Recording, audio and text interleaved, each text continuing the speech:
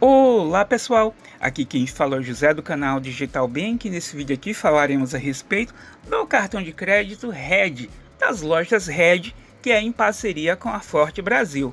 Pessoal, esse cartão de crédito é um cartão de crédito que você também tem algumas possibilidades de conseguir esse cartão de crédito. A primeira delas é de você ser aprovado nele na versão sem bandeira. E também tem a questão do cartão de crédito bandeirado. Esse sim é de bandeira Mastercard, só que em ambas as versões é um cartão de crédito que vou logo anunciar aqui de antemão que não é um cartão sem anuidade. Você vai ter uma cobrança de anuidade de R$ 14,99. Só que é como eu já havia anunciado aqui no canal em um vídeo mais antigo a respeito desse cartão de crédito. Ele tem diversos benefícios que são atrelados à loja e também a questão da parceria com a Forte Brasil. No quesito benefícios da bandeira, são aqueles benefícios que já são praticamente de costume em qualquer cartão de crédito, independente da instituição financeira.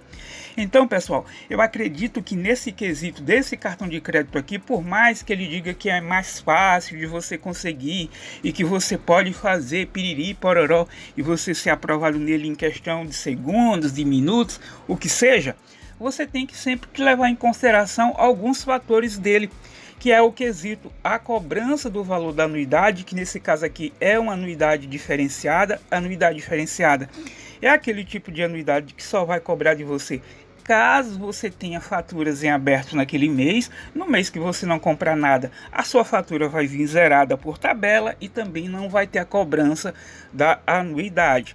Nesse caso aqui, você tem que fazer uma avaliação, caso seja aprovado, se esse valor aí vai ser suficiente para o limite que você foi aprovado. Repito, imagine aí, você concorda pagar R$ 14,99 se o cartão te aprovar um limite de 300 reais? Para você, você acha justo? Se acha justo, pode ser que esse cartão de crédito seja para você. Agora, se você julga que 300 reais, caso ele te aprovar um limite desse valor, é muito baixo para você, aí você tem que avaliar se vale a pena ficar com o cartão com esse valor. Os benefícios já são meio que padronizados porque é aquela coisa, é atrelado ao estabelecimento comercial, é cartão de loja e os benefícios que são oferecidos pela Mastercard é benefício padrão, é os benefícios que já tem em outros cartões de outras empresas, entende?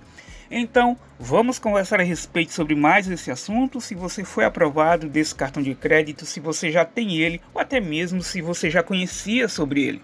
Vamos conversar a respeito. Se você não é inscrito aqui do nosso canal, eu peço para que você inscreva-se, para que a nossa comunidade cresça mais. Compartilhe esse vídeo para que mais pessoas conheçam aqui o nosso conteúdo. Clique em gostei para mostrar para o YouTube que nossos vídeos têm relevância. Até a próxima, pessoal. Falou!